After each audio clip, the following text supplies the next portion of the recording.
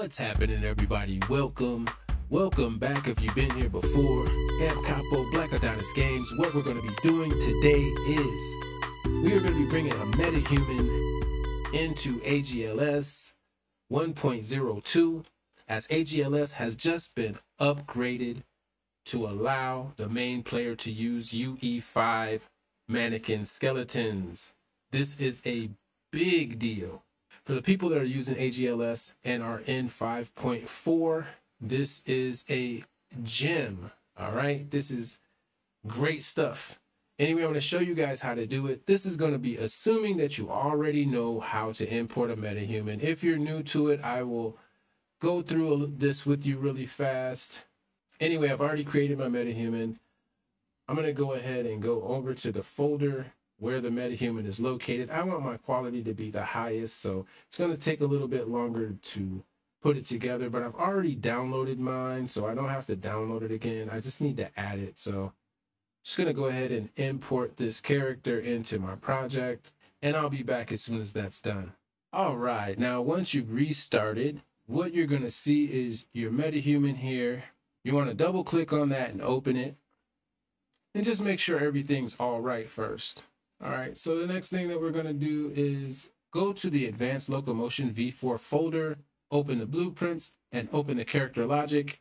For those familiar with the system, you're gonna realize that there is not only the ALS AnimMan character BP, but now we also have an ALS Manny character BP. This is the character BP that allows you to use the Unreal Engine 5 mannequin. This is in the most recent update version 1.02. So now what we're going to do is copy this. I always recommend working from a copy. So we're going to duplicate this and I'm just going to change the name to reflect my character's name. You can name it whatever you want. I'm going to take that one off the end and we're just going to go ahead and we're going to save that. Now we're going to go ahead and open that. Once you have it open, I'll show you that you can change this mesh to the Quinn if you'd rather use the Quinn.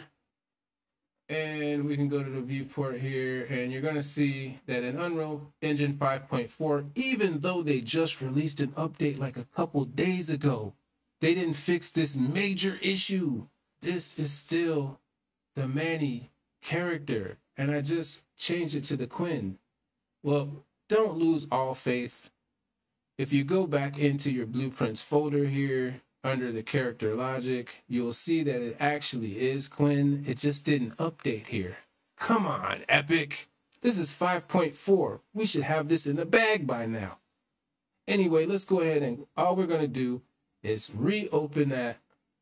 And when you get to the viewport, you'll see your new mesh there. So if you're using just a regular Unreal Engine 5 character and not something like a metahuman that's modular, then it'll just snap right in like this and your character should work and look correctly.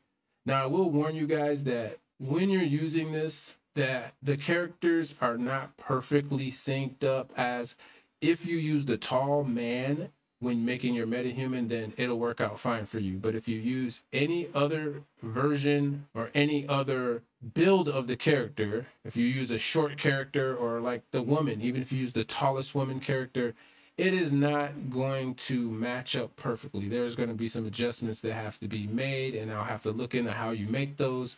We're just looking at bringing the character in right now, so let's go ahead and move on. The next thing that you're going to want to do is we are going to go back to our character, and we are just going to copy the body mesh over. Go here, we're going to look up this body mesh, which is here, and we are going to replace the visual mesh that we are seeing here with the body mesh. Now, I've seen this done in other ways in other tutorials. And I'm going to tell you why I'm doing it this way.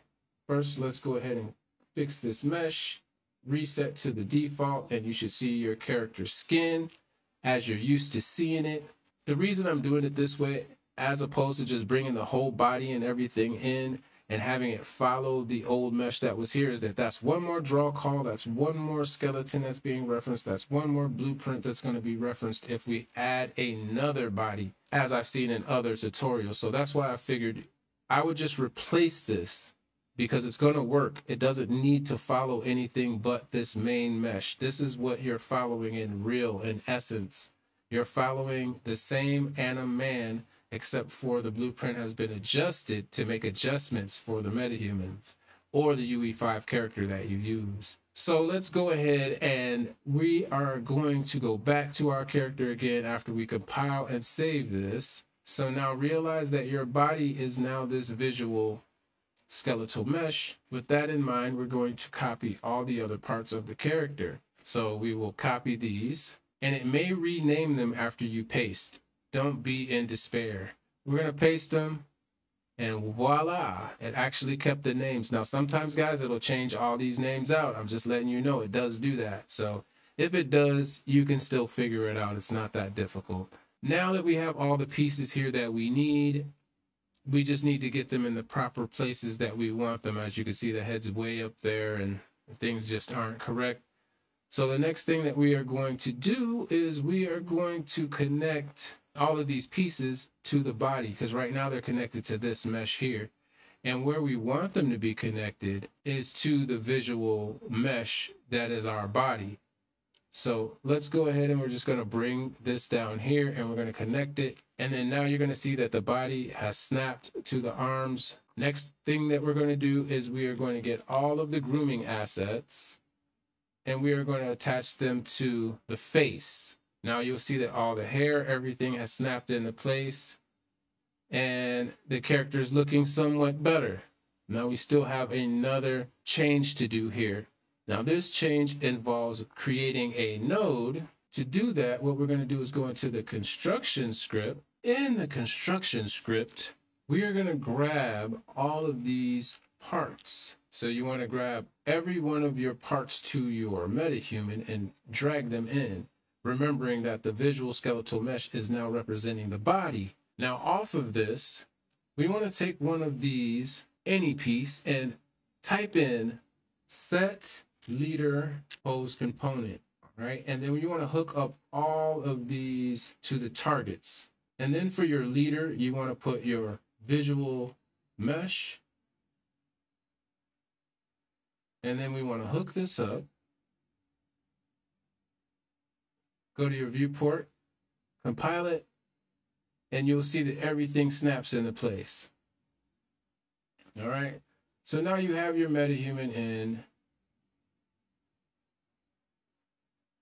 with everything all set to go. The only other thing I would recommend is getting the LOD sync or the LOD sync, copying it, and adding it as well as it gives you control over the metahuman and how it displays from distances and you can totally control all that. So that's what we're doing. Let's go ahead and add this character into the project now. And the easiest way to do it is to drag the character in, we're going to go ahead and delete this character. And yeah, it's going to say you're breaking references. Uh, the references are just, and I'll explain that, the references seem to be to these two blueprints, but they still work perfectly fine, these two blueprints back here. But they still work fine, so I don't know. It's probably the, uh, I believe that it's the sequence that is referencing them, but it doesn't matter, it still works. Now what we want to do is go to our character. We want to touch on the character here with your mouse, you want to go down and we are looking for the possess. And right here it says auto possess player. We're just going to put that on zero. Now we should be able to press play and we have our metahuman character in the project. Now I don't have everything set up perfectly. I'm on a controller and it's not set up by default to work with a controller, nothing more than just moving. I can't even adjust the camera. So but that is how you get the MetaHuman in. And at this point, you can use it and it's gonna work just fine. So let me know if you have any questions or anything about this tutorial. Be sure to like, subscribe, hit the notifications and share the content. I'll be back with another one. Amp Capo Blaque Addonnis Games.